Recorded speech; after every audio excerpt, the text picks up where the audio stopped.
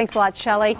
Little kids can sleep anywhere. I'm a little jealous Yes. of that. And Adeina is here with something to make it a little more comfortable. You know what I'm talking about when you, you're at a restaurant, you see a little two-year-old Right, or like kindergarten. or oh, yeah, even as old as that. Well, Adeina came up with a great idea on how to have a pillow on your wrist. Yeah. Just do a little And these are, remember these from the 80s, the slap bracelets? yeah. You know, you just kind of slap them on. You're ready to go. See? Night, night. Okay, and so Exactly. all you have to do is get the right supplies and you're ready Yes, to go. and I actually got these slap bracelets over, I think Party City, but you can get them at any craft store. Okay. And just get some material from the craft store. All you need is an iron and hot glue gun. It's You know set me, and my ready hot to glue go. gun, got to have that.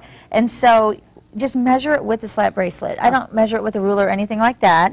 Here we go. Just measure it. The You cut it material. out. mhm. And then you're going to go ahead and iron the material to the slap bracelet so you know how big to make the creases. So you don't have any kind of fuzzies sticking out or anything like that. So just go ahead and put that in. Put a little dab of hot glue here. Okay. You have already gone ahead and ironed it to make sure that the edges are the way they need to be. You're kind of making a little Yes, just and when you put it in, I accidentally put Ooh, this one upside up, upside down. But when you do it, when you put it in, you want to make sure that you have it going the right way as far as the slap bracelet. Okay. When you slap it on. There you go. Okay, Get so that one's there. So here's a finished one here, so we'll use that. And then to do the little ball, all you need is a round circle. I just grabbed this out of the cupboard just to make a circle. And then you do what they call a slap uh, stitch, slip stitch. So, you know what I mean, I don't like sewing, so this is semi-sewing for me. So you're just gonna kind of go in like this and out like that. So this is all this is. And the reason you do that, Is when you're all done, you're just gonna pull it like this, and you get this. And it makes a little pocket Yes, and just put get your some pillow of that in. Mm-hmm.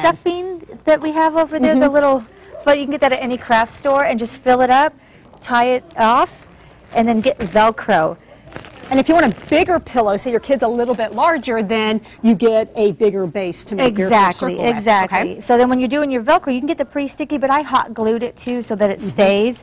But you you have the one side that's kind of rough, Mm-hmm. and then you have the other side that's soft. So any of the things that you're going to put on the bracelet, make sure you have it on the soft side. If you haven't discovered this type of Velcro, It's the best. You will find so many Yes, uses for it. you will. And then for a boy, you could get like a soccer ball, Mm-hmm. you know, just to kind of make it.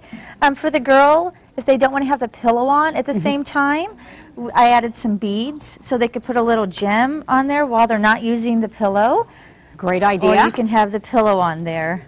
So when they're sleeping, you just kind of slap it on like that. and Then you can borrow time. it too when you get tired and go night night. we, we were talking about this before at our editorial meeting, and we're like, oh, we could all use I that. The morning crew was ready I for a nap. know, And the supplies you found just at fabric stores, craft fabric stores. store, craft store. A lot of the craft stores have fabric now, Mm-hmm. so you can find everything there, and even a slap bracelet, Party City or a craft store. You could use like an old T-shirt, maybe something that's special to the child. exactly. So great idea. Thank you so much for Thank coming by. And if you would like to get more fantastic ideas from Crafting with Adeina, make sure to check out Time Warner 988. Okay, I can't read it over there. Thank you for the help. It's of course San Antonio on demand, and you can see Adeina right here on San Antonio Living. Get more ideas at craftingwithadeina.com.